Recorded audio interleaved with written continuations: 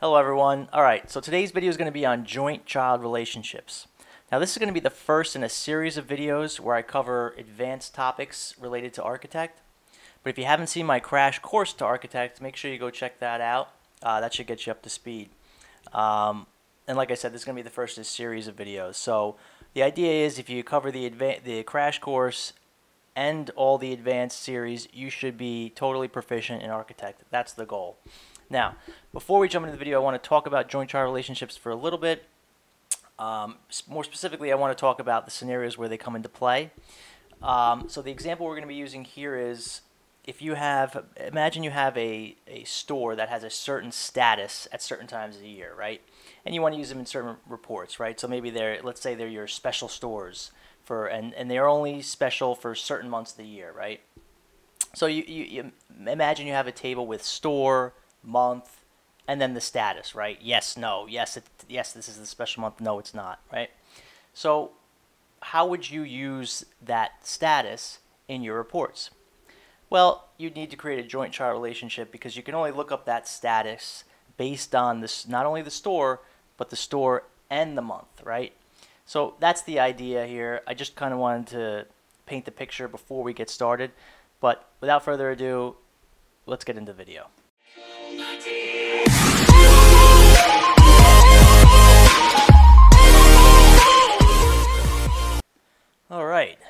Everyone. So today we're going to be talking about joint child relationships.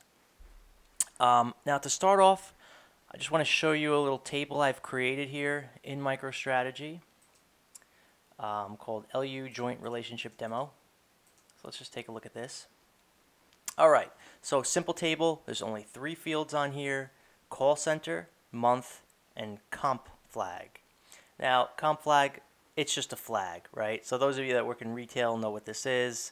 It's basically the comp status of your store. It tells you if you're able to use this store in comparisons to the previous year.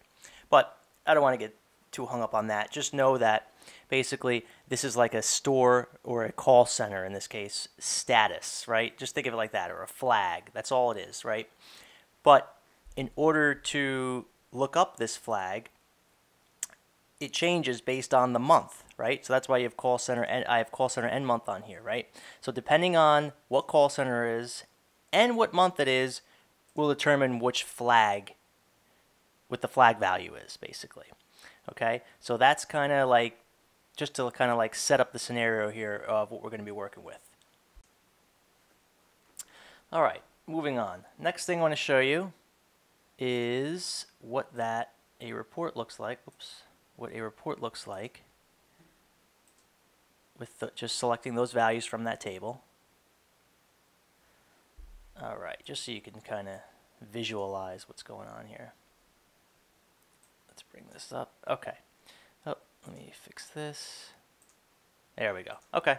So this is a simple report that just selects the straight straight values, three straight values from that table. So you can see call center, month, and the flag or the status, whatever you want to, however you want to refer to that.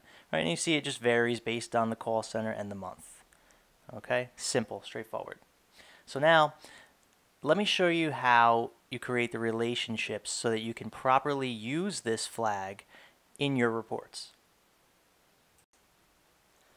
All right, but before we go ahead and create that joint child relationship, I want to show you what the SQL looks like without creating any relationships, with no relationships. Then I'm going to show you what the SQL looks like when we create it on just one of the attributes. And then finally, we'll create the joint child relationship and show you what, what it looks, what the correct SQL looks like and show you how that um, impacts the report. So you can see kind of the differences here. So, because I think by doing it that way, I think it'll really show you um, the impact that creating joint child relationships has. And, and, you know, all right, so let's, let's, let's jump in here. All right, so I created this simple report here for demonstration. Um, so simple, it's got call center, we want revenue by call center, and we only want um, call centers that have a comp flag uh, of yes. So pretty straightforward here. Now, the, the comp flag attribute currently has no attribute on it, has no relationship on it at all. So let's go ahead and take a look at what the SQL looks like. But before I run the SQL, let's just double check and take a look at that attribute and make sure. Load the editor here. And okay. And here we'll go to ch children and you can see it's blank. So there are no there are no relationships defined here. So now let's go back to our report. Let's view the SQL and let's see what that looks like. Okay. So now remember, we had a filter on a report where we only wanted a comp status of yes, okay? And if you see, there's nothing in the where clause here. So there is no filter being applied to this report. The only thing you see here is the join uh, to the from the fact table to the call center table. I'm sorry, the call center table, uh, yeah, fact table to the call center lookup table. That's the only thing you see here. You don't see any any where any where statement filtering on our comp status. However, we've clearly defined it in our report. So, now, the next step, let's define a relationship for this attribute, okay? Only the relationship we're going to define is going to be the wrong relationship. So instead of doing a joint relationship, joint child relationship, we're just going to do it on a single uh, attribute. We'll just do it on call center just so you can see how that incorrectly impacts the SQL, and then we'll do it correctly using the joint child relationship, and then you'll see the difference. Uh, I think that's the best way to understand what's going on. Okay, so we've opened our comp flag attribute editor. We will click add. We'll just add call center. And we'll make this many to many because it should be. It's, it is true. Uh, even though we're doing it incorrectly, you know.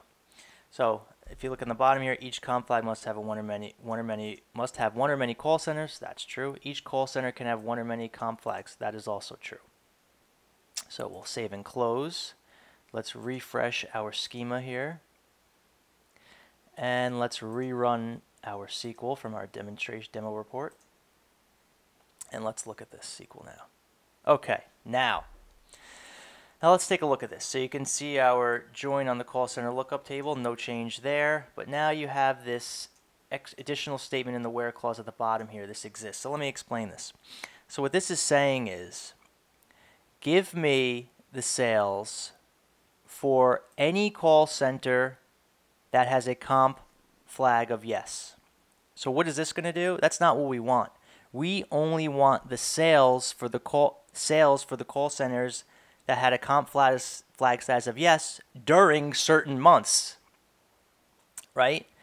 Um, a comp flag of yes will just, this is just going to return everything basically, because this is going to return every store, right? Well, based on, you don't know that, but based on uh, the table, this every store at some point, every call center, I should say, at, at some point did have a, a comp status of yes. So just to let you know, th this will end up returning every single call center.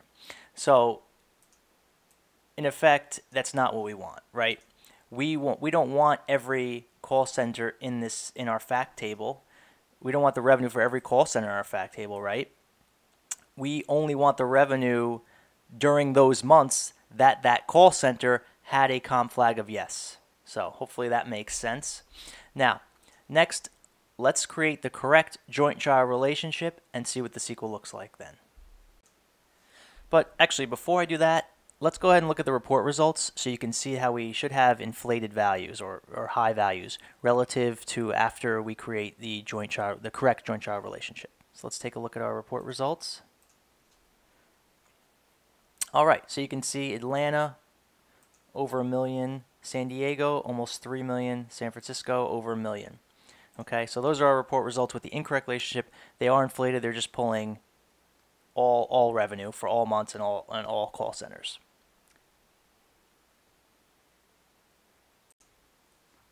So now let's go ahead and and create the correct relationship. So let's go to our attribute editor. Let's close well, let's close this report first. And then we'll go to our attribute editor. We will edit our comp flag. Go to our child children tab.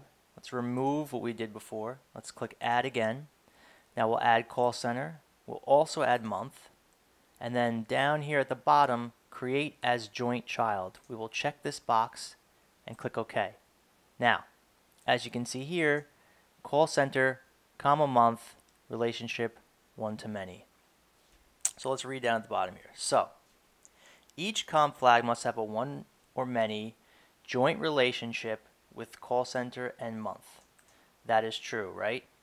Each month and call center and each joint child call center and month must have one and only one comp flag. That is also true, right?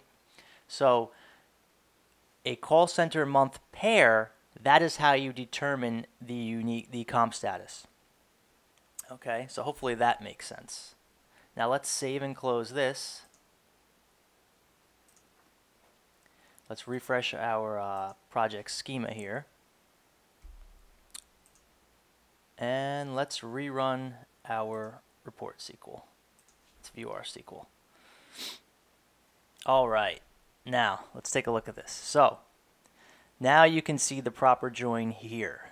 So A13, this is our new table. This is our joint relationship table. This is the table, the lookup table for the comp, the comp flag.